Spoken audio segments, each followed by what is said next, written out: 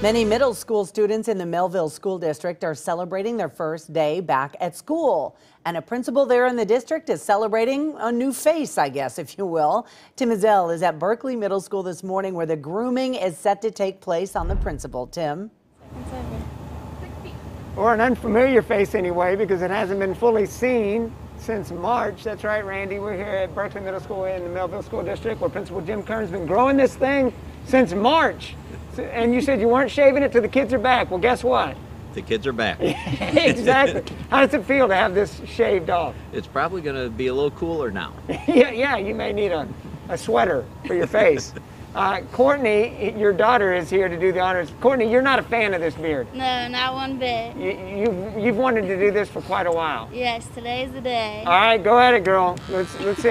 Do you have a technique that you have in mind, or you just going at it? Oh, oh, oh yeah. How's that feel, Jim? Perfect. Are you gonna go like uh, giving the, the Fu Manchu first, or just a? No, we're just doing one half and then the next. Okay, you're doing one half and then the other.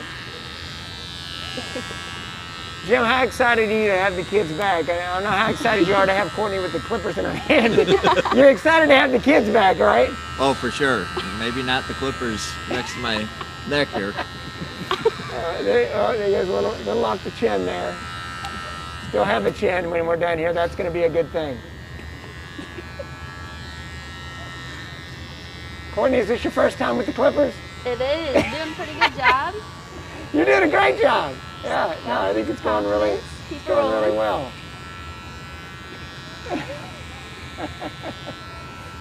Jim, tell me what it's been like over these few months, waiting for this day to come when you could welcome your students back. Oh, I'm telling you, we need the students here. This is an awesome experience. Uh, and just excited to share it with the, the kids and the whole faculty at Buerkle Middle School. Courtney, that's still dad under all that beard. It is. He looks about 40 pounds lighter now. Yeah, there you go. Now you might want to try tilting it down. Uh, but but the other, yeah, there you go, flat sided. Yeah, there you go. Uh-huh. Don't listen to me, do you? Do your own thing. I couldn't grow a beard if I wanted to anyway. Kids are back in school and you're doing like a, a, a hybrid system, so this is half of the students, the other half will be here tomorrow. Correct. And so we're uh, have our kids in cohort A and cohort B, and then we have several students still at our Mehlville at Home program. All right, you want to give the students a little glimpse of what you look like? What do you think, gang? Yeah, much better. Oh, they're kind of loud. Feel that breeze. Feel that breeze. There you go.